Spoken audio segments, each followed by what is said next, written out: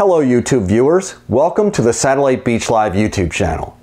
Today's video is another in our series of videos on the people that help make the Satellite Beach Farmers Market a special place for residents of the Space Coast.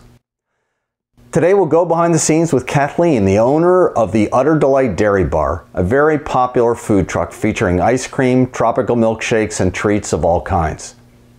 Let's talk to Kathleen as she prepares for the weekly opening of the Farmers Market in Satellite Beach.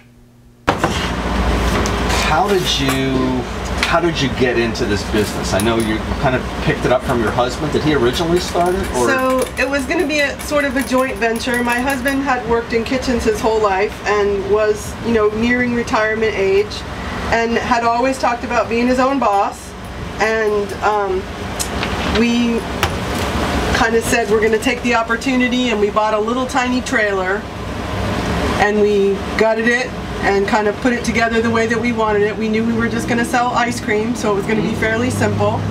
So we put it all together. Um, we learned many things along the way, um, including just selling ice cream with the state of Florida doesn't mean anything. You still have to like have your licenses and inspections and um, registrations and every municipality you have to have some kind of business tax receipt with. So we learned along the way. Yeah. Um, and then we started very small at the, at the farmers markets. We started going out on the weekends, taking the trailer out. Um, and gradually we would come in contact with other people. We were constantly searching events um, and getting ourselves involved. We got very involved in the community, um, started supporting things like Police Athletic League, um, and started working with um, different kinds of events throughout Brevard County and sort of built our reputation from there. That's pretty cool. So it was it was uh, an evolutionary kind of a story. It was, it was. It was it was something to keep him busy so that he mm -hmm. wasn't completely retired. That's fair. I still, you know, this was for Ron and I. It truly was. It was not something that I intended to do by myself. I have another career that I do. I'm a midwife. I deliver babies. Um, so how do you balance that with this? I mean, how do you find the time? It's definitely well, you know, I I lost Ron in August. Um, he was diagnosed with lung cancer, mm. um, and he passed very quickly.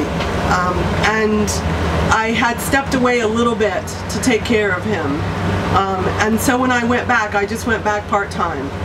And I haven't really, I, I feel like part-time is enough for me right now. I've been a midwife for 30 years. I've delivered probably 3,000 babies over the years. I've wow. trained a lot of students. I'm not done with it yet but I'm I'm stepping away a little bit and this takes some of my time. I, it was never really supposed to be just me. It was supposed to be the two of us together. Mm. So it's been a little bit of a challenge to, to have to step up and take the responsibility for everything. But trust me, I hear him telling me stuff all that he's like, don't forget about this and don't do that and I told you so and I was like, yes, I, I, I do hear you, my friend.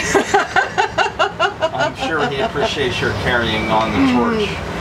I, I hope so. You know, we worked on this for the last year. Um, and um, he never got the opportunity to come out in the big truck. Mm. Um, but we had it almost we we had it inspected and ready to go in July, um, and he passed in August. So he never got the opportunity to come out in the big truck with me. But I know he was just so proud of the fact that you know we started with a a little nothing trailer that we gutted and put together and learned along the way and we've really kind of you know graduated and um, we have a great reputation out in the community you know we get sought out a lot and um, we have a good product we have good value um, we really have great quality.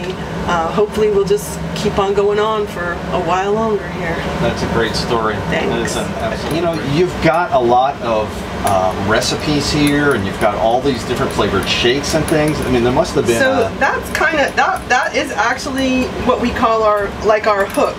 So um, Ron and I lived down in the United States Virgin Islands on St. Thomas. Um, back in uh, 2012, 2013, I worked down there as a nurse midwife at Schneider Medical. I was down there on a contract. And while we were down there, we came upon this little dairy. Um, and it was an ice cream store that sold all kinds. It sold milk and butter and ice cream. And one of the things they sold was ice cream shakes that had liquor in it, like real liquor in it.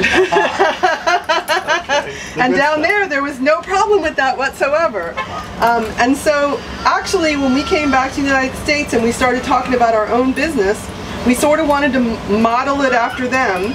So some of the shakes on my board are like completely taken off of their menu. The Jacoco, the Jamoco, um, the the Banana Quit.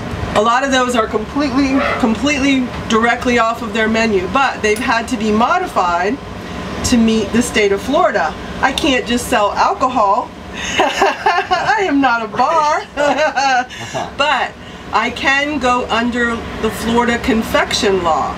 So as long as I meet the Florida confection law, I can put a little bit of liqueur in each one of my shakes. So it's, it's sort of a um, a little treat with an adult twist, so to speak. Yeah, I, I saw that on the business card. That's a perfect way of putting it. I had Yeah. your rum runner, and it was awesome. That was really good.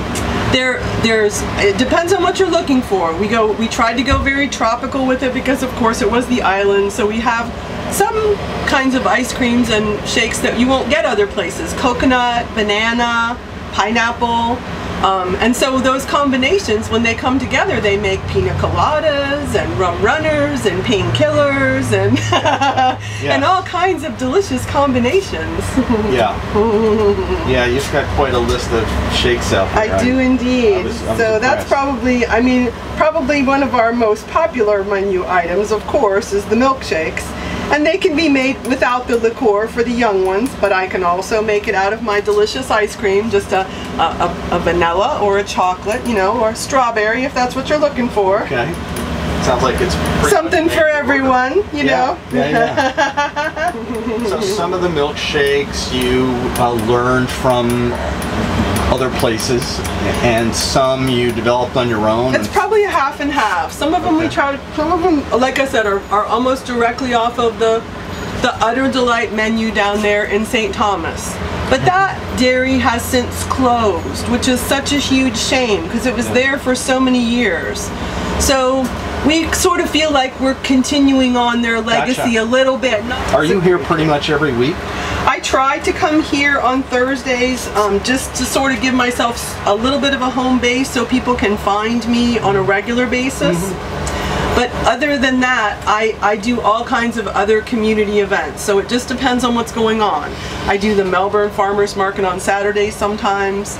But if there's community events, like I was just down in Sebastian for their Earth Day festival um, a couple of weeks ago, and I, I just did, we did the most wonderful uh, Latin block party down in Fellsmere just a week or so ago. It was amazing. Sounds a fantastic concert. We all had a great time, and we were out there dancing in our in our ice cream suits. That's wonderful.